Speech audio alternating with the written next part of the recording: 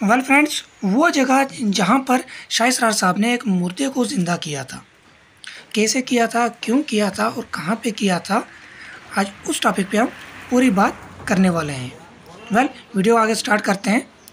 मैं इरशाद अहमद और आप देख रहे हैं एडवेंचरस सोल तो फ्रेंड्स आगे बढ़ने से पहले आपसे एक रिक्वेस्ट है कि अगर आप चैनल पर नए हैं तो चैनल को सब्सक्राइब कर दीजिए साथ में बेल आइकन भी दबा दीजिए ताकि इसी नेक्स्ट वीडियोस आप तक पहुँचती रहें। अब चलते हैं टॉपिक की ओर। तो सबसे पहले बताना चाहूँगा कि शायसरा साहब ने कैसे मुर्दे को, कौन था वो जिसको ज़िंदा उन्होंने किया था? तो जैसे पिछली वीडियो में भी हमने ज़िक्र किया हुआ था तो चलो शॉर्टली इस टाइम पे और करते हैं। तो फ्रेंड्स ये उस वक्त की बात है जब शायसरा साहब की एज लगभग छः से सात साल की थी। तो उनका एक फ्रेंड था, जो रिलीजियस से पंडित पंडित था। पंडित लड़का एक उनका फ्रेंड था सेम एज के थे दोनों। तो रोज़ वो चौगान ग्राउंड में, जो फ़ेमस है किश्तवाड़ का चौगान ग्राउंड, उसमें रोज़ वो गेम खेला करते थे। कुछ हाली वर्ग किश्त यहाँ की लोकल जो लैंग्वेज है, उसमें उसको हाल, हाली गेम बोलते हैं, हॉली। तो वो गेम खेला करते थे तो उसमें एक बाजी रह गई उनके ऊपर। शायसरा साहब की बाजी रह गई उनके ऊपर। और जैसे आज के डेट में हम इसको पॉइंट भी बोल सकते हैं कि इनके पॉइंट उनके ऊपर रह गए। और शाम को वो अपने अपने घर चले गए। गेम अधूरी रह गई।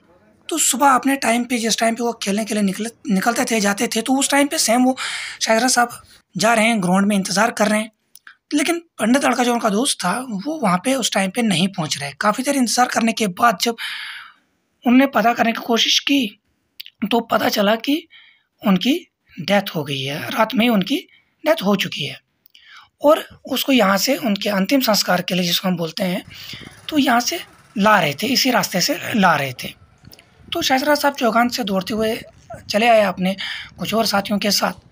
तो इस जगह पे पहुँचे, जहाँ पे ये चनार है, आज इसको यहाँ लोकल भाषा में सलामी, सलाम कहीं बोलते हैं, सलाम कहीं मतलब सलामी वाला पत्थर, कहीं बोलते हैं पत्थर को। तो सलामी पत्थर इस जगह पे जब वो पहुँचे तो इनका आमना सामना हुआ, यहाँ से उनकी जो अब डेड बॉडी लेके जा रहे थे तो इन्होंने कहा कि इसको नीचे रखिए।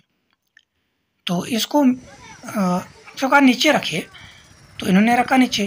तो इन्होंने बोला कि ये नहीं, ये ये मर नहीं सकता है, क्योंकि इसके ऊपर मेरी बाजी है, मेरा कर्जा है, ये कैसे जा सकता है?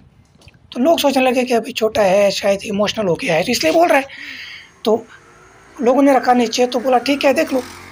तो उन्होंने उनको एक, उनके हाथ में एक लकड़ी का डंडा जैसा था, जो आज भी शाहसराज साहब के उर्स मुबारक पे उनकी जो आखिरी निशानियों के साथ दिखाया जाता है, वो डंडा जो लाठी थी उनके, उससे उनको इशारा किया, ऐसे छू छू कर कि उठ और मेरी वो गेम पूरी कर और मेरी बात से मेरा कर्जा उतार, फिर तू जा। ऐसे बोल के। और सारे लोग तमाशा देख रहे थे और सच में वो लड़का खड़ा हो गया, ज़िंदा हो गया और वापस वो गेम खेलने लगी। जब वो गेम खेली, वो गेम पूरी की, उन्होंने चुकाई, उसकी बाजी चुकाई उनकी। तो वापस बोला, ठीक है आप जा। जहाँ के लिए आप निकले थे तो आप जा सकते हैं। वो वापस लेटे और वापस उसी तरीके से फिर से मुर्दे के मुर्दे की शक्ल में हो गए। तो सारे लोग परेशान हो गए और उनके साथ जिद करने लगे रिक्वेस्ट करने लगे कि आप इसको दोबारा ज़िंदा करो। इसको दोबारा मारना मत। आपने ज़िंदा किया तो इसको ज़िंदा रहने दो आप। जब ज़िंदा कर दिया तो ज़िंदा रहने दो।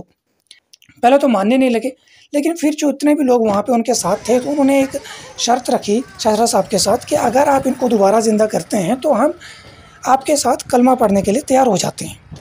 तो उन्होंने बोला, ये ठीक है, अच्छी बात है।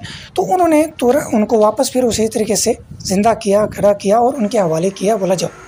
और उन लोगों ने जिन, जिन्होंने उनके साथ कमिट किया था, कमिटमेंट किया था, उन्होंने वैसे ही कमिटमेंट के हिसाब से कलमा पढ़ा और अकेले मुसलमान बन गए।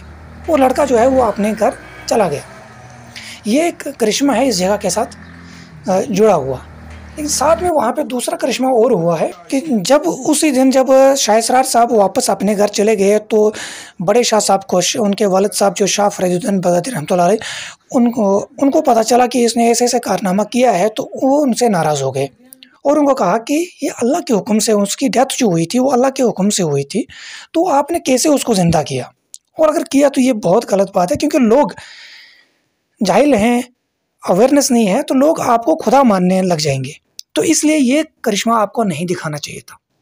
तो इसलिए आप चले जाइए, आप उसको दोबारा से बेचिए उसको मरना है, लिखा है तो वो मरेगा। तो आप उसको रोक नहीं सकते। तो उन्होंने कहा कि नहीं, अब मेरा ये कमिटमेंट जुटा हो जाएगा, क्योंकि वहाँ पे इतने सारे लोगों ने कमिटमेंट किया है, कुछ लोग, कलमा भी पढ़ा है, मुसलमान बन गए। तो अब अगर मैं उनको, उसको दोबारा मारता हूँ या मरने के लिए बोलता हूँ तो वो लोग एक तो मेरा कमिटमेंट जुटा हो जाएगा, दूसरा वो लोग भी अपने कमिटमेंट से मुकर जाएँगे। तो ये अच्छी बात नहीं होगी मेरे लिए। तो शाह साहब ने, बड़े शाह साहब ने बोला कि ठीक है, अगर आपकी यही ज़िद है तो या तो वो ज़िंदा रहेगा या आप रहेंगे। फैसला आपके हाथ में है। तो शाहरा साहब ने बोला, ठीक है, अब वो तो वहाँ पर तो मैंने कमिटमेंट दे के आया हूँ, सब कुछ करके आया हूँ तो अब वो तो ज़िंदा रहेंगे। तो मैं ही चला जाता हूँ। अगर आपका एक फरमान है, हुक्म है तो मैं आपको हुक्म के पूरे ताबेदार हूँ और मैं ही इस दुनिया को रुखसत करता हूँ। तो उन्होंने उनके साथ एक जाम का गिलास दिया। कुछ लोगों लोगों का कहना है कि दूध का गिलास दिया, बड़े शाह साहब ने, उनके वालद साहब ने, और उन्हें पिया और उस दुनिया को रुखसत कर गए। अब उनकी आखिरी आरामगाह बनानी थी तो उसकी तैयारी करने लगे शाह साहब वगैरह। तो उतने में कश्मीर के एक राजा थे, उनको पता चला कि ऐसे ऐसे यहाँ पे आज वाक़ हुआ। तो उन्होंने अपनी फ़ौज भेजी और संदेश भेजा कि इनकी जो आखिरी आरामगाह बनेगी वो कश्मीर में बनेगी। तो बड़े शाह साहब के पास जब ये मैसेज पहुँचा तो उन्होंने बोला, ठीक है, वो आए। तो उनके हवाले किया पूरा सारा कुछ, तबूत चबूत सब कुछ पैक करके। तो उनके हवाले किया कि, ठीक है, आपकी अगर ये मर्ज़ी है तो जाइए, ले जाइए इनको। जब उन्होंने उठाया जहाँ पर आज शाह साहब की ज़्यारत है, वहाँ पर वो रहते थे तो वहाँ से जब जनाजे मुबारक को उठाया तो क्या हुआ कि वो जनाजे मुबारक उनका जो भारी होने लगा, वज़न बढ़ने लगा। पहुँचते पहुँचते जब इस जगह पे पहुँचे तो उन्होंने थोड़ा सा रेस्ट करने का सोचा और कहा कि थोड़ी देर रेस्ट करेंगे, नीचे रखते हैं। जैसे ही जनाजे मुबारक नीचे रखा तो ताबूत नीचे रखा तो कुछ देर रेस्ट करने के बाद उठाने लगे तो वो उठने नहीं लगा। उठाते उठाते थक गए, पूरा सारे ज़ोर लगाते गए, जितने भी लोग थे, जितने भी फोर्स थी, सारे, लेकिन वो वहाँ से नहीं हिला उसको नहीं हिला पाए वहाँ से। तो वो चले गए शाह साहब के पास कि ऐसे ऐसे हुआ, अब तो ताबूत वहाँ से उठ नहीं रहा तो अब क्या करेंगे? तो शाह साहब ने बोला कि अब उनकी मर्ज़ी नहीं है यहाँ, वहाँ से आगे जाने की तो उनको रहने दीजिए, वहीं पर रहने दीजिए अब छोड़ दीजिए। अब फोर्स बोलने लगे, नहीं, आप बोलेंगे तो ये चलेंगे। तो उन्होंने कहा, शाह साहब ने कि नहीं, बिल्कुल, अगर मैं कहूँगा तो ये बिल्कुल चलेंगे। मानेंगे, लेकिन अब ये इनके साथ एक ज़्यादती होगी पहले इन्होंने मेरे कहने पे इतना बड़ा फैसला लिया, हुक्म माना। अब अगर और कहूँगा तो ये बहुत बड़ी ज़्यादती हो जाएगी इनके साथ। इसलिए अब उनकी मर्ज़ी है तो रहने दीजिए। जब तक वहाँ से लोग आए तो देखा तो वहाँ पर जनाज मुबारक। कहीं भी नहीं था। यहीं पर ज़मीन के अंदर चले गए या आगे कहीं। कुछ पता नहीं चलने लगा। के बाद कुछ लोगों का कहना है कि तीन महीने के बाद लगभग, जहाँ पे आज शाहसरार साहब की जार शरीफ है, मज़ार शरीफ है, वहाँ पे उस टाइम पे सिर्फ़ झाड़ियाँ ही झाड़ियाँ थी। ये सिर्फ़ झाड़ियाँ झाड़ियाँ थी, कोई बस्ती वस्ती ज़्यादा नहीं थी। तो वहाँ पर एक झाड़ी एक थी, कांटे की झाड़ी एक थी बड़ी तो उसके नीचे एक चिराग जलने लगा। लोगों ने देखा कि चिराग जल रहा है तो क्या तो वहाँ पे वही ताबूत शरीफ, बिल्कुल वैसे के वैसे ही जैसे वहाँ पर छोड़ा हुआ था उस टाइम पे, वैसे के वैसे ही उनका फ्रेश दिखने लगा, सही सलामत दिखने लगा ताबूत शरीफ लोग बिल्कुल हैरान हो गए तो ये करिश्मा देखकर तो तुरंत गए लोग, शाह साहब, बड़े शाह साहब को इतला की उनको बोला कि ऐसे ऐसे वहाँ पे वाक़ हो रहा है, ऐसे ऐसे तो अबू शरीफ उन शाहरा साहब का वहाँ पर मिला है। तो बड़े शाह साहब ने कहा कि, ठीक है, उनकी मर्ज़ी वहीं पर रहने की है, इसलिए उनको वहीं पर रहने दीजिए। जब तक तो लोग वापस आए थे शाह साहब से मिल के वापस आए थे देखा तो अबू शरीफ वहीं पर ज़मीन के अंदर खुद ब खुद चला गया था।